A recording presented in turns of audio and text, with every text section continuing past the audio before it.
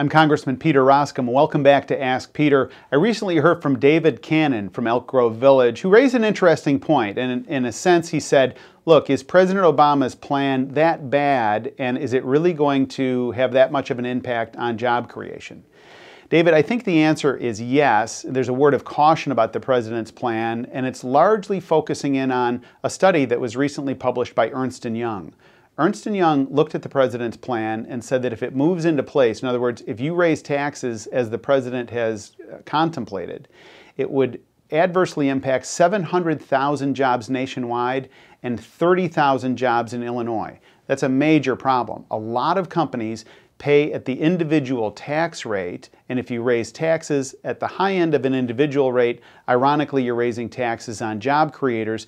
And here's the point 54% of uh, people in Illinois work for those types of companies. So I say, let's not tax the job creators.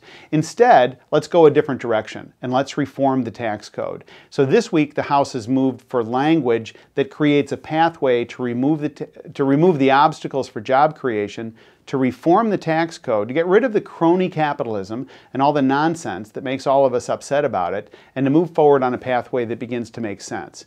I need to hear from you and others through email and phone call and Twitter and Facebook, old fashioned letters too.